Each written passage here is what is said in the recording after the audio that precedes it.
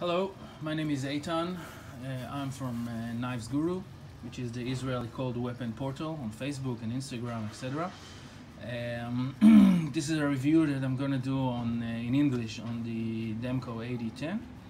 Uh, most of my re reviews are in Hebrew because I want to make a knowledge base on knives and cold weapons in Hebrew, but um, uh, as I said before, some of my videos are in English.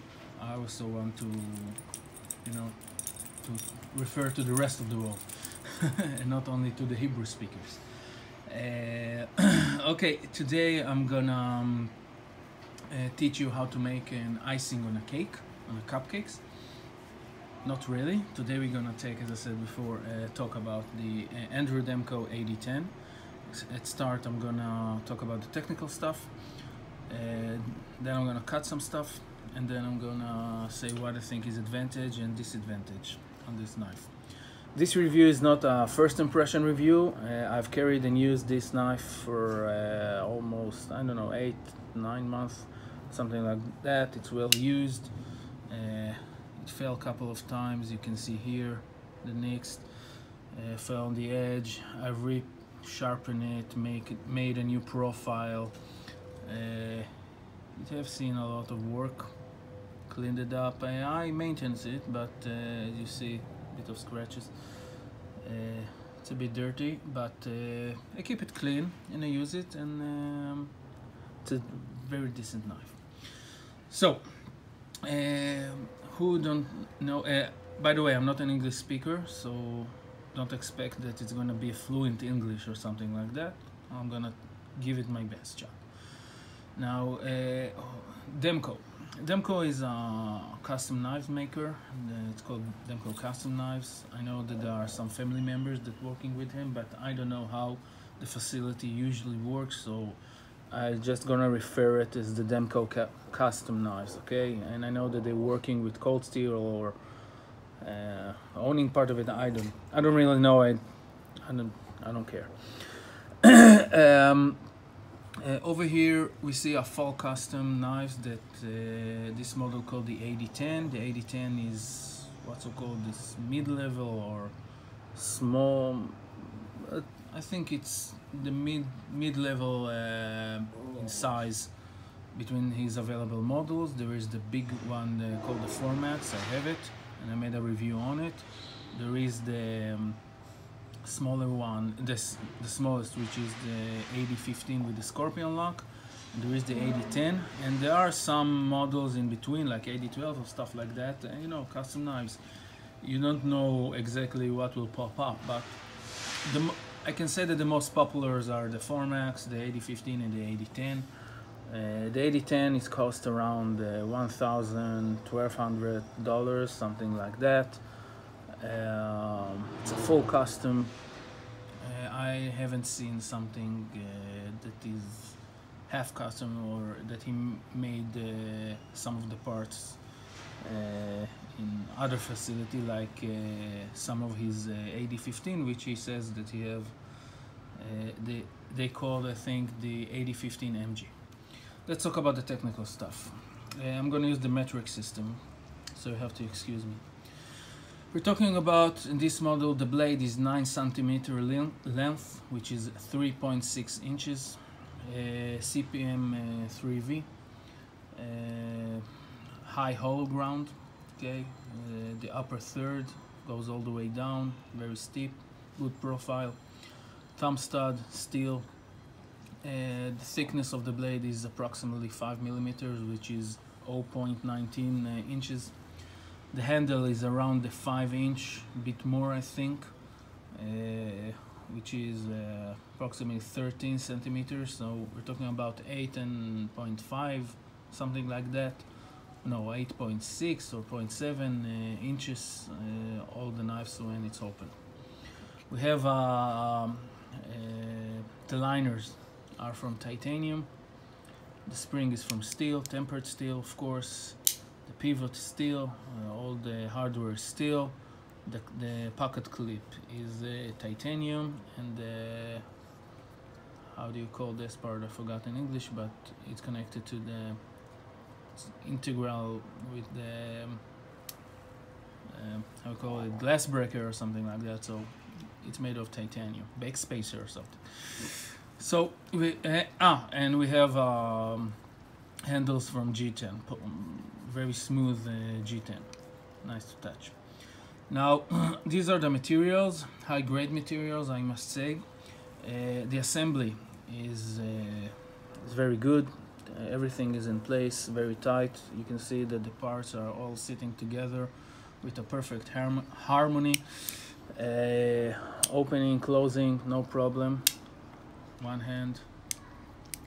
At the beginning, it's the spring is a bit hard, but in time, it's very easy. No problem there. Okay. Now the lock called the Triad lock. It's some sort of a patent that he made. A very strong lock. It works. It has a tooth here, and it snaps inside the back of the knife, the base of the knife, in the middle of the pivot. Like that. Okay? And then it's rock solid, don't move. Now, it's a very strong lock, one of the strongest I know. Uh, he placed a stopping pin here in the middle, which uh, allowed more tension to press on it. Um, I don't know the physical terms in English on all sorts of pressures that knives have from this side or other side, but I know that this uh, small part allows the blade to carry a lot of tension and weight uh, on this uh, end uh, so or in this end so if you uh, press hard or something like that or it's stuck and you want to pull it out it's very strong it's very solid it's a reliable lock. I think it's one of the most reliable ever for a folding knife it's very strong and is uh, world famous for, for that the triad lock hope you understand what I explained but as I said not a native speaker. Uh, the ergonomic of the hand very nice. I have I love this groove. It's it's very sit secure in the hands it's very ergonomic. It's very nice to use. I use it a lot and it's very important the handle is uh, a bit longer from the blade which also some people like it some people don't. It gives you a lot of control if you're cutting something hard. So let's cut some stuff okay? Uh, this stuff is like a seat belt material okay? Uh, okay no problem see. Not using a lot of strength because I don't want it cut my face or the camera okay? Bit of oh it's gonna make a lot of dirt here so I'm gonna stop. Next thing. This is tough stuff. Doesn't look like one but I have a lot of power in my hands and it's difficult to tear it up. So let's use the knife. It's something you see very easy. Something you use in uh, in the gun industry they make holsters with it. Here in Israel there is a company so I took the the materials it cuts no problem. This is something tougher. See? Something used to hard use gun holster. Uh, also cuts. See? No problem. Yeah my dog went inside and he thinks it, Him something to see. It's no problem.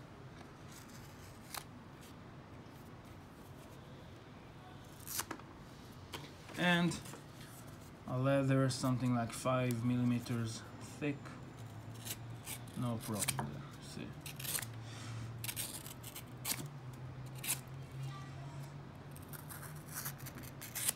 So what does that teach us? Teach us that this knife have uh, the CPM 3V uh, can get a very fine edge. I sharpen it uh, on a 320 belt and then buffed it. Uh, and the, the blade geometry is uh, very good. Okay. I know 5 millimeter is thick but it cuts very well. It also cuts very good into wood. I tested it trust me Uh, now, advantages. Ad- advantages versus disadvantages. Advantages, well, it's a multi-use knife. It's not a tactical, but it can easily used by soldiers or anywhere for almost any work you want. From food prep, yes, I made food for a moment. It's not ideal, but if you take this one knife, only this, can take out a lot, and it's very versatile and it's it's so simple in in design that it's genius okay? It's a simple design plain no tricks but it's very very very useful okay? So I think the charm or the greatest advantages is in, in, in those knives that they are meant uh, the maker put a lot of effort on uh, usability okay? It's not fancy as other custom knives on the $1200 range okay? But you can use it to do almost any task. Almost any task. There are some specialty knives for, for but you know what I'm talking about. If you take this one is EDC uh, I don't think that there is something that there is a problem with it. It's very good. So its biggest advantage it's its versatility the materials, the, the fit and finish. Uh, as you can see, it's. Uh, I'm gonna try to close up. It's very well made. Everything is in spot.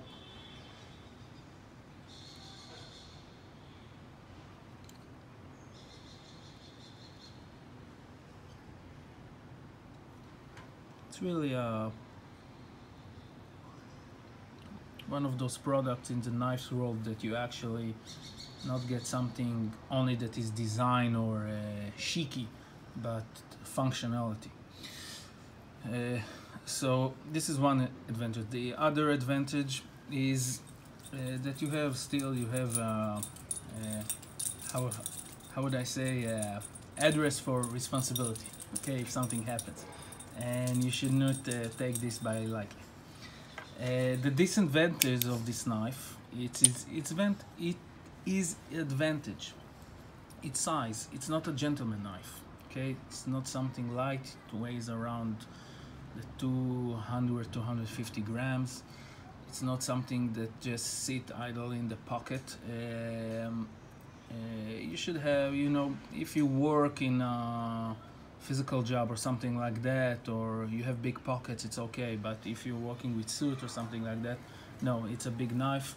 It has its own weight. Uh, the pocket clip does put a lot of pressure on the pockets and uh, wear off the the cloth so you have a hole finally uh, eventually.